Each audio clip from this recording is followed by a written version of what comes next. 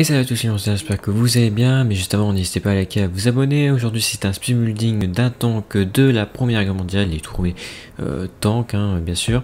Euh, j'ai fait ça euh, pour une personne et j'ai essayé de faire un tank un peu voilà de cette date ça a donné un rendu assez bien donc voici ce speed building de ce tank alors il est juste un peu trop grand c'est pour ça je vous conseillerais d'utiliser d'autres chenilles que euh, celle-ci et qu'il faut les rétrécir, enfin bref. Ou sinon, euh, n'hésitez pas à liker, à vous abonner, vous pouvez me suivre sur Instagram et Discord et aussi TikTok pour suivre l'actualité de l'Ambiance Studio.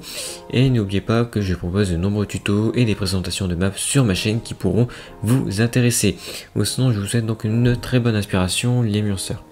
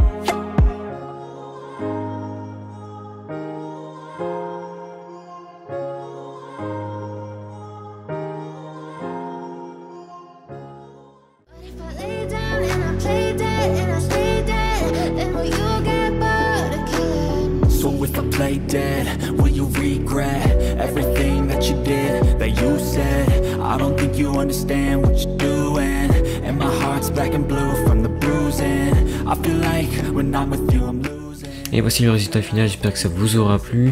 Euh, n'hésitez pas à liker, à vous abonner pour me soutenir. Je propose de nombreux tutos et des présentations de maps et aussi des speed building euh, qui pourront vous intéresser sur ma chaîne. Vous pouvez me suivre sur TikTok, Instagram et Discord pour suivre un peu plus l'actualité de l'Ambianceur Studio. Ou sinon, comme d'habitude, je vous dis une très bonne inspiration et à plus tard les Monsters.